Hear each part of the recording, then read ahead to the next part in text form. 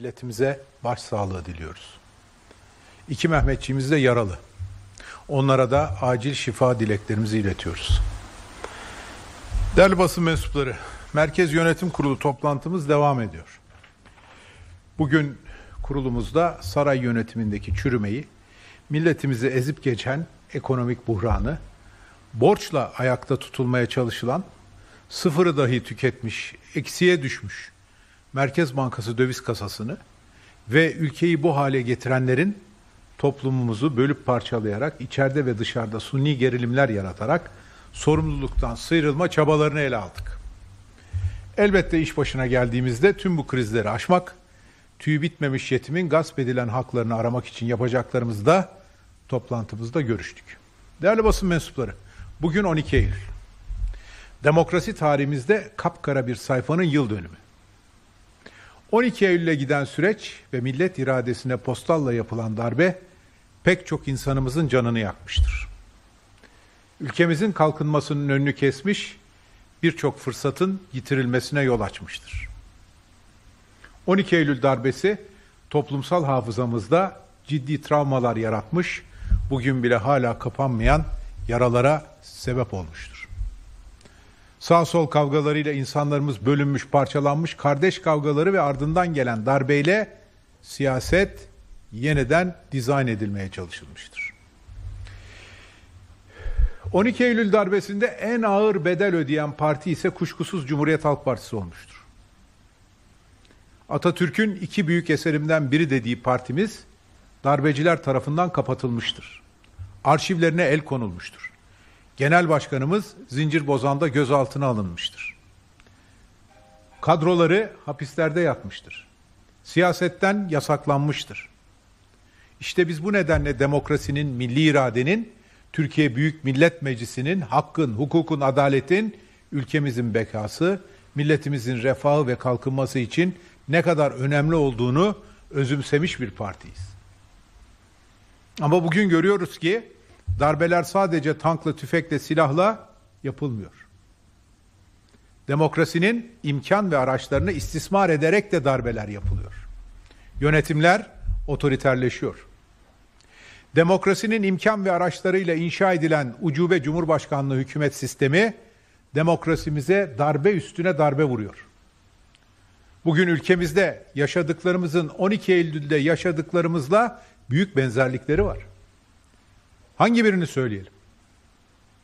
12 Eylül'de Kenan Evren ve arkadaşları ne yaptıysa 20 Temmuz 2016'dan sonra aynını Erdoğan şahsım yönetimi yapıyor. Bugün Erdoğan'ı kaç kişi eleştirebiliyor? Cumhurbaşkanlığı makamına oturan bir siyasi parti liderini eleştirmek kanunen yasak. Kanunla yasaklanmış. Ama diğer liderlere ağzına geleni söylemek serbest. 12 Eylül'de 12 Eylül'de de parlamento askıya alınmıştı. Yasalar Milli Güvenlik Konseyi'nde hazırlanıyor. Şimdi de parlamento fiilen askıda. Yasalar sarayda hazırlanıyor. İktidar vekillerinin parmakları inip kalkıyor. 12 Eylül'de anayasamız askıya alınmıştı. Bugün de anayasamız fiilen askıya alınmış durumda. 12 Eylül'de temel hak ve özgürlüklerimiz güvence altında değildi. Bugün de temel hak ve özgürlüklerimiz güvence altında değil. Bugün ülkemizde anayasamızın hükümleri uygulanmıyor. Sarayın hakimleri Anayasa Mahkemesi kararlarına uymuyor. Avrupa İnsan Hakları Mahkemesi kararlarını uygulamıyor. Anayasal bir devletten görünürde anayasalı bir devlete dönüştük. Ve bugün Türkiye'yi yönetenler hukuk devletine vurdukları darbelerle ülkemizi üyesi ve kurucusu olduğu Avrupa Konseyi'nden atılma noktasına getirdiler. John Locke'un meşhur bir sözü var. Hukukun bittiği yerde tiranlık başlar diyor. Tiranlığın olduğu yerde kimse canından malından emin olamaz. Bugün Türkiye'de hukukun üstünlüğü yerine sarayın hukuku konuşuyor. Binlerce insan bu ucube rejimin iradesiyle hiçbir mahkeme kararı olmadan bir gecede kanun hükmünde kararnamelerle görevinden alındı. Saray mahkemelerin yerine geçti. Daha önce kumpas davalarının savcısıyım diyen sarayın kibirlisi bu defada hakimliğe soyundu. Yaşın yanında kuruyu da yaktı. savcıların kovuşturmaya yer yoktur kararları, mahkemelerin işe iade kararları yok sayıldı. Halen de sayılıyor. Genel başkanımız bizim iktidarımızda bunları düzelteceğiz deyince tüm bu hukuksuzluklara imza atan sarayın kibirlisi kıyameti kopardı. Genel başkanımızı mahkemelerin yerine geçmekle suçladı. Kişi kendinden bilir, bilir işi derler. Genel başkanımızın taahhüdü mahkemelerin yerine geçmek değil, tam da mahkeme kararlarına, hukuka uymak taahhüdüdür.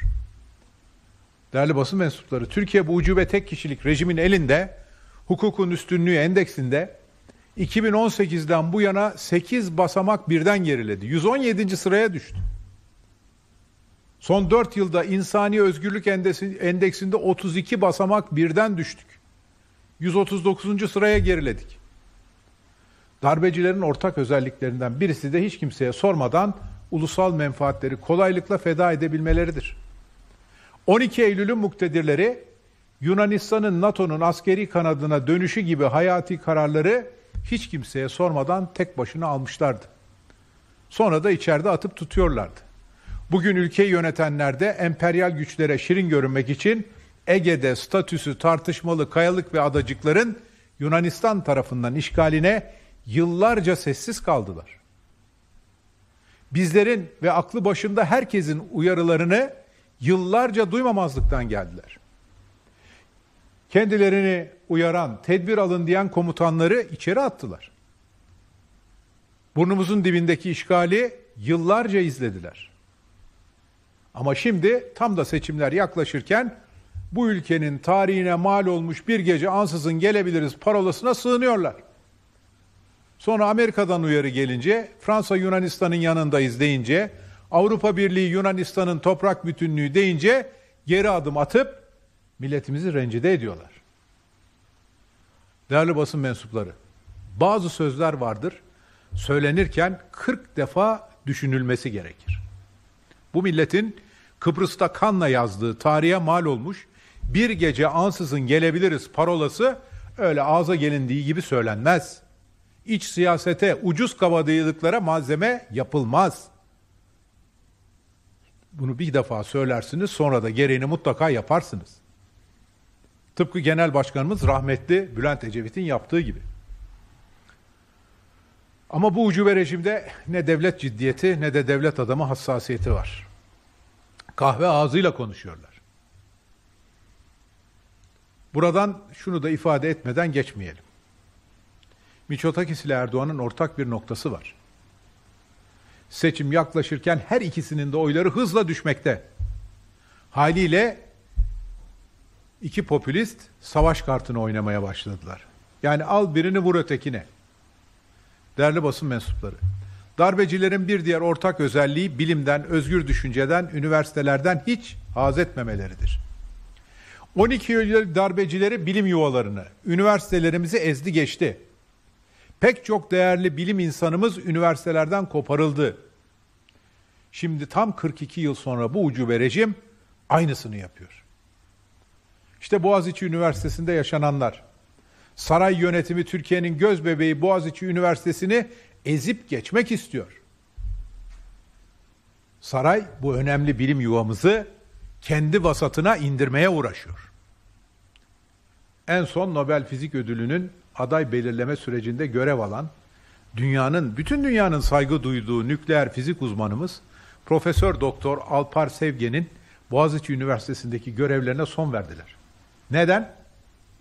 Bu değerli bilim insanı akademik özgürlüğü, akademik ahlakı savunduğu için. Ama buradan milletimize söylüyoruz. Kimse enseyi karartmasın.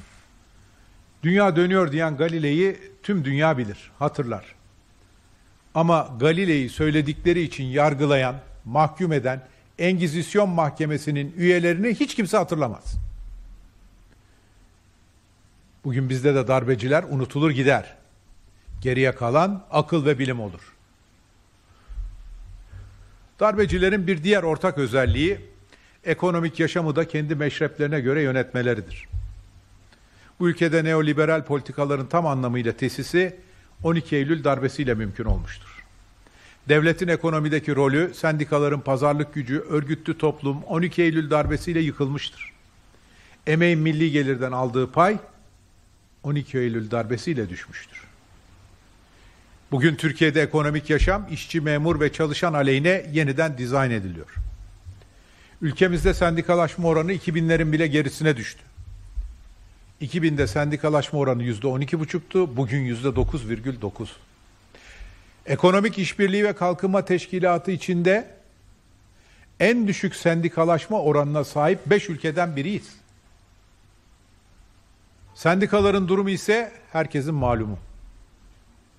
Bugün ülkemizde sarayın yandaşları, yanaşmaları abat, başta emekçilerimiz, milletin hali ise berbat. İşte bugün Temmuz işsizlik oranları açıklandı. Gerçek işsiz sayısı Temmuz'da 781 bin kişi artarak 8 milyon 415 bine çıkmış. Gerçek işsizlik oranı da 2 puan birden artarak %22,5'e ulaşmış. Hayat pahalılığı ise almış başını gidiyor. Ücretler, maaşlar, ayrıklar sarayın faiz sebep enflasyon sonuç diyerek azdırdığı enflasyona yetişemiyor. Enflasyonla şişirilen bütçeden milletin ihtiyaçları için para bulunamıyor. Ama faiz lobilerine bütçeden ilk 7 ayda 151 milyar 347 milyon lira verilebiliyor. Çiftçimiz bütçeden hak ettiği desteği alamıyor ama kur korumalı mevduat, sahip, mevduat sahiplerine 60 milyar 597 milyon lira faiz milletin bütçesinden çalınıp çatır çatır ödeniyor. Milletimiz yiyecek ekmek bulamıyor ama diğer tarafta dövizle verilen garantiler karşılığında kamu özel işbirliği müteahhitlerine 13 milyon 625 13 milyar 625 milyon lira tıkır tıkır ödeniyor. Zengini daha da zengin, milletimizi her gün biraz daha fakirleştiren bu tercihler milli gelirin bölüşümüne de yansıyor. Milli gelirden ücretle çalışanların aldığı pay artık görülmemiş seviyelere, bugüne kadar hiç görülmemiş seviyelere geriledi. Sadece son iki yılda emeğin milli gelirden aldığı pay 10 puan birden düştü. Yüzde 21'lere indi. 12 Eylül darbesinde bile bu hızda bir gerileme yaşanmamıştı. Bu yönetim anlayışının ücretliyle ücretiyle geçinenlere çıkardığı çok ağır bir faturadır. Oturduk hesapladık. Emekçilerimizin önceki 3 yılın ortalamasına göre milli gelirden aldıkları payın düşmesi nedeniyle son 2,5 yıldaki kaybı tam tamına 67 milyar dolar. Kişi başına baktığımız zaman da son 2,5 yıldaki kayıp 3000 emekçi başına 3273 dolar. Böyle bir emek sömürüsünü, böyle bir zulmü yapsa yapsa ancak darbeciler yapar. Atalarımız boşa dememiş. Arsız neden arlanır? Çul da giyer sallanır. Şimdi AK Partili bir genel başkan yardımcısı çıkmış. 2002'deki asgari ücretle ne alınıyordu? Şimdi ne alınıyor? Ekmek 1 lirayken alınamıyordu ama bugün 5 lira ekmek alınabiliyor diye buyurmuş. Hep söylüyoruz. Bunların milletle bağı koptu. Milletin halinin farkında değiller. Milletin sesini duymuyorlar. Yaşadıkları fil dişi kulelerde her şeyi güllük gülistanlık zannediyorlar. Bir de bize anlatalım. 2002 Aralık ayında net asgari ücret 184 lira 30 kuruştu. Aynı dönemde bir çeyrek altın 27 lira 40 kuruştu. Yani asgari ücretle 7 tane çeyrek altın alınıyordu. Bugün asgari ücret ne kadar? 5500 lira. Çeyrek altın ne kadar? 1674 lira. Şimdi ancak asgari ücrette 3 çeyrek altın alınabiliyor. E buradan bu AK Parti yöneticilerine soruyoruz. Emekçinin cebine girmesi gereken 4 çeyrek altın kimin cebine gitti? Çıksınlar, millete bunun hesabını versinler. Verebilirler mi? Veremezler. Çünkü artık millet içine çıkacak halleri de kalmadı. Değerli basın mensupları, darbeler ve darbeciler memlekette ne huzur bırakır ne de bereket. Milletin neşesi kaçar. Gülmek bile haram olur. İşte Dünya Mutluluk Endeksindeki yerimize bir bakalım. Son 4 yılda 38 basamak birden düşmüşüz. 146 ülke arasında 112. sıraya gerilemişiz. Artık bugün memleketimizin her yerinde festivaller, konserler iptal edilip duruyor. Milletin gülüp eğlenmesine, günlük sıkıntılardan bir an olsun uzaklaşmasına bu yönetim tahammül edemiyor. 9 Eylül'de İzmir'in düşman işgalinden kurtuluşu kordonda büyük bir coşkuyla kutlandı. Tarkan muhteşem bir konser verdi. Ancak böyle anlamlı bir günde milletimizin büyük bir coşkuyla kutlama yapması birilerini rahatsız etti. Keşke Yunan galip gelseydi diyen emperyalist sevicilerden, tarih belleyenlerin, İzmir'in kurtuluşu 9 Eylül kim demiş? Ne münasebet? Cihan Harbi bitti. Müstevliler alacaklarının birkaç kat misli aldı ve öyle gittiler, çekildiler. Kurşun sıkmadık ki diyen densizlerin karın ağrılarının sebebini biz gayet iyi anlıyoruz. Hadi bu cumhuriyete saygınız yok. Bu topraklar için toprağa düşmüş binlerce şehidimizin aziz hatıralarına da mı saygı, saygınız yok? Kurtuluş Savaşı'nda bu millet ateşi de ihaneti de görmüştür. Bunları söylemek, anlatmak ne zamandan beri Osmanlı ve Cumhuriyeti kapıştırmak oldu? Bu ülkede kimse Cumhuriyeti Osmanlı ile kapıştırmaz, çarpıştırmaz. Biz ecdadımızı senden benden diye dölüp parçalamayız. Anadolu'nun kapılarını açan Alparslan da bizim, Anadolu ve Trakya'yı emperyalist çizmelerinden kurtaran Mustafa Kemal de bizim. Ama bu millet Çanakkale'yi tek imzalayı tek bir imza ile emperyalistlere açan, İstanbul'u düşmana tek kurşun atmadan teslim eden, Kuvayi Milliye ve Mustafa Kemal için idam fetvası yazanları, onaylayanları, ardından da İngiliz zırhlılarına binip gerisin geri kaçanları ecdadı olarak kabul etmez. Asil milletimizin de bizim de derdimiz ülkeyi kötü yönetenlerledir. Liyakatsizlerledir. Dışarıdan emir alanlarladır. 9 Eylül 1922'nin 100. yıl dönümünden ayrışma, kutuplaşma çıkarmaya kalkanların bir başka niyetini biz çok iyi anlıyoruz.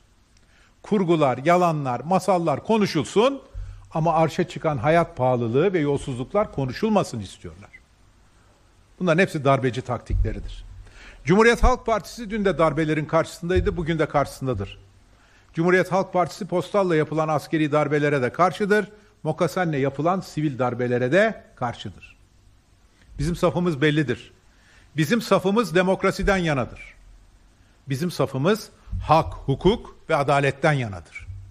Bizim genel başkanımız herkes sinip korkarken hak, hukuk, adalet diyerek Ankara'dan İstanbul'a kadar bunun için yürümüştür. Attığı her adımla bu ülkede korku duvarlarını yıkmıştır. Şimdi gün bu kutlu mücadeleyi daha da güçlendirme günüdür. Bu topraklarda ayrışarak değil, bir araya gelerek, kavga ederek değil, helalleşerek, tek yürek olup kardeşliğimizi güçlendirerek bu ülkeye gerçek demokrasiyi getireceğiz. Sayın Genel Başkanımız da millet masasının etrafındaki diğer partilerimiz de işte bunun mücadelesini veriyorlar. Biz bu vesileyle bir kez daha amasız fakatsız tüm darbeleri lanetliyoruz.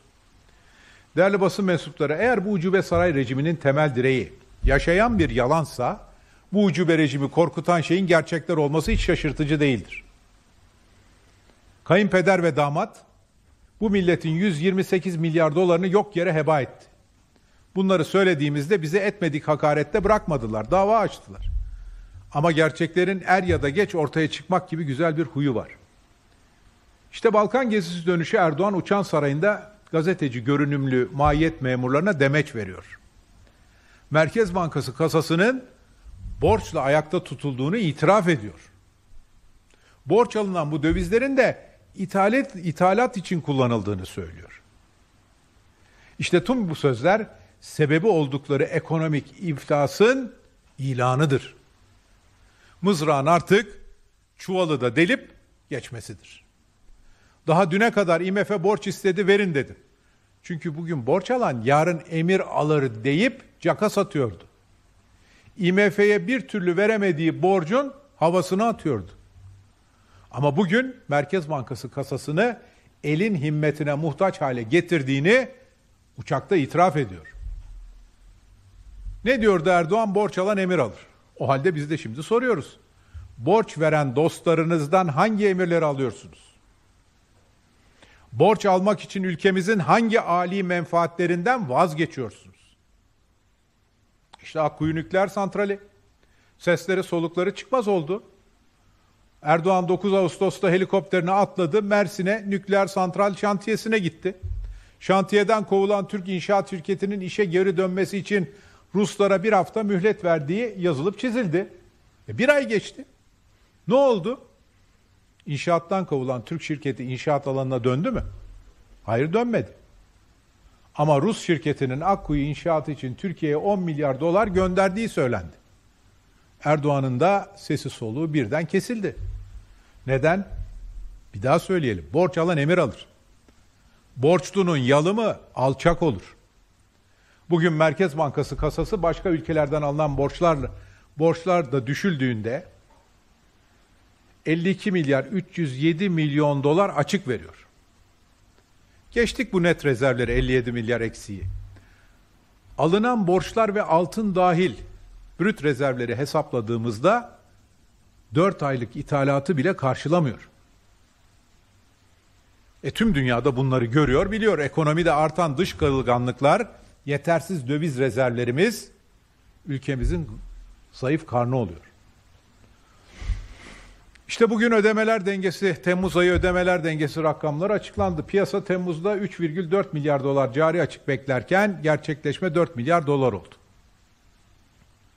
Yılın ilk 7 ayında gerçekleşen cari açık geçen seneye göre yüzde 168 tekrarlıyorum yüzde 168 artarak 36 milyar 700 milyon dolara çıktı.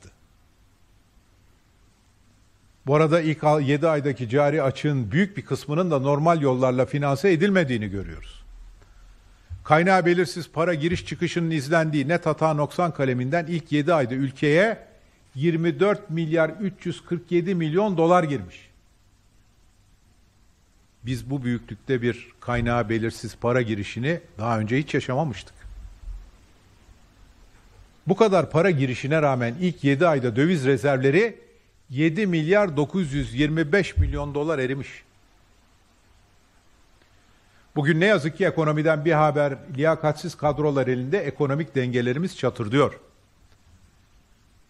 Ama Nebati Bakan çıkıyor, dualarınızla enflasyon sorununu da biz çözeriz diyor. Bunların elinde ekonomimizin işi anlaşılan dualara kaldı. Ekonomiyi dualara havale edecekseniz siz o koltuklarda neden oturuyorsunuz? Bugün okullar açıldı. Öğrencilerimize, ailelerimize, öğretmenlerimize başarılı bir eğitim öğretim yılı diliyoruz. Ama eğitim öğretim masrafları bu sene korkunç arttı. Özel okullara yapılan faiz zamları bir kenara bırakıyorum. Kırtasiye masrafları bile cüzdanları yakıp kavuruyor. Ucuzcu marketlerde bile son bir yılda silgi yüzde 127, pastel boya fiyatı yüzde 138, okul çantası fiyatı yüzde 159, 120 yapraklı defter fiyatı yüzde 299 artmış. Bu zamlar karşısında bizim velilerimiz ne yapacak? Aileler nasıl ayakta duracak? Çocuklarının yüzüne nasıl bakacak? Ama bu ara bu arada Türkiye Türkiye pahalı. Bulgara ise ucuz. Ülkemiz Bulgaristan'daki veliler için ucuzcu markete dönmüş. Paramızı Bulgar paramız Bulgar levası karşısında pul olunca Bulgar veliler Türkiye'ye akmaya başlamış. Arabalarını tıka onlar arabalarını tıka basa doldururken bizim velilerimizin elleri böğründe. Bu millete bunu yapmak hak mıdır, reva mıdır?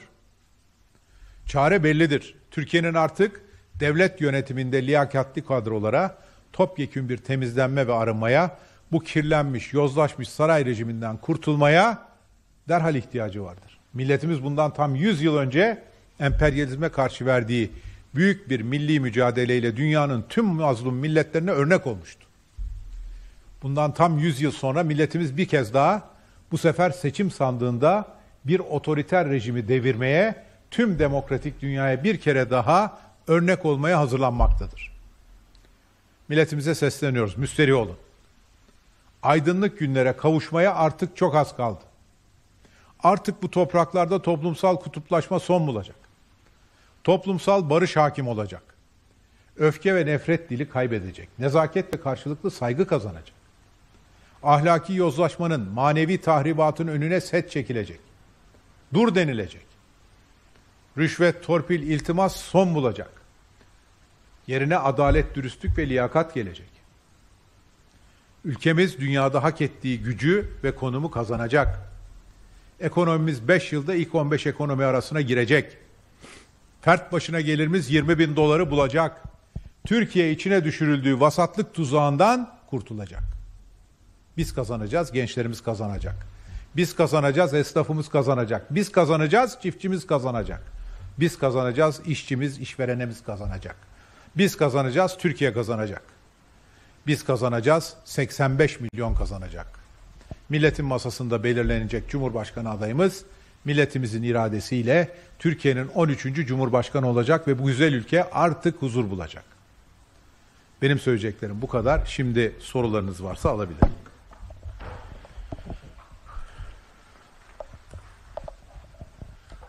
Efendim dün Diyarbakır'da bir olağanüstü kongre düzenlenmişti. Bu kongrede açıklamalarda bulundu CHP Parti Meclis Üyesi Nevaf Bilek ve e, Diyarbakır için e, bir açıklaması oldu. Diyarbakır hakikaten Türkiye Kürdistan'ında önemli tarihi bir şehrimiz dedi.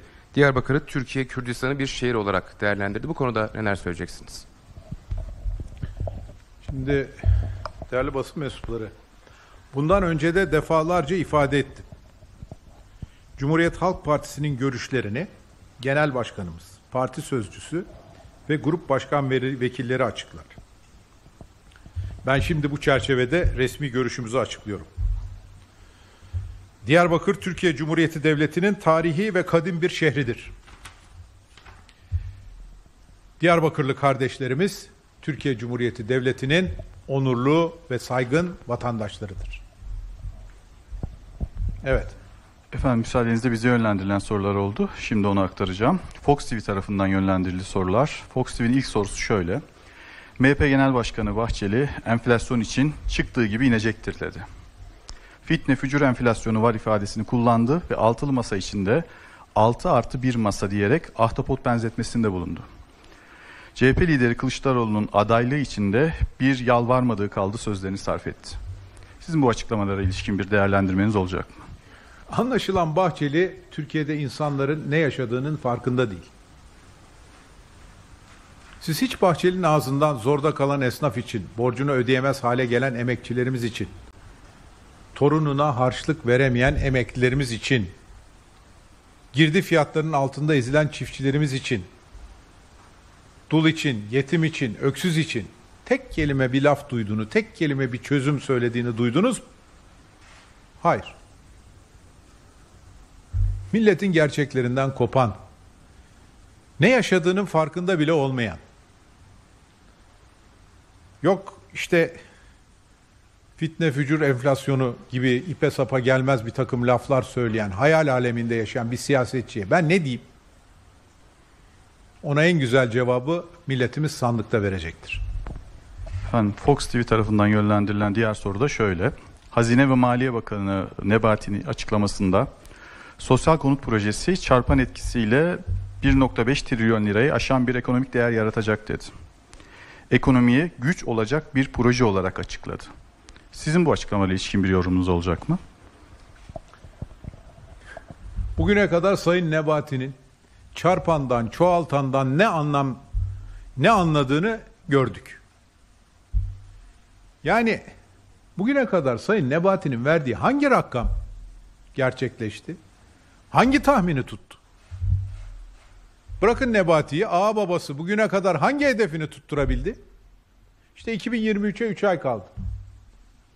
2023'te ilk 10 ekonomi arasına gireceğiz dedi. İlk 20'den düşürdü. 2 trilyon dolar milli gelir dedi. Şimdi olsa olsa 867 milyon dolar milyar dolar olur diye orta vadeli programa yazıyor. 2023'te bu millete 25 bin dolar kişi başına gelir vaat etti. Şimdi 10 bin 71 dolarla idare edin diyor. Bu millete 2023'e randevu verenler verdikleri her sözün altında ezim ezim ezildiler. Şimdi milletimiz de tabii verilen sözler için sarayın kapısını çalıyor. Ama kapıyı açan yok. Mobilyaları, beyaz eşyaları, incik boncuk evde ne varsa bir güzel boşaltmışlar, satmışlar. Ama sandıkta evin gerçek sahipleri evi boşaltanlardan bunun hesabını soracak. Ben teşekkür ediyorum.